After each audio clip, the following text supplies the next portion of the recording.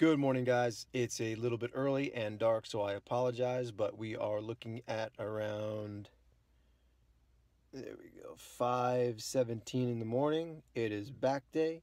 Uh, we're gonna go in there, get a good warm up because it's so early and it's a little chilly out, and uh, we'll smash this session and then get right to it.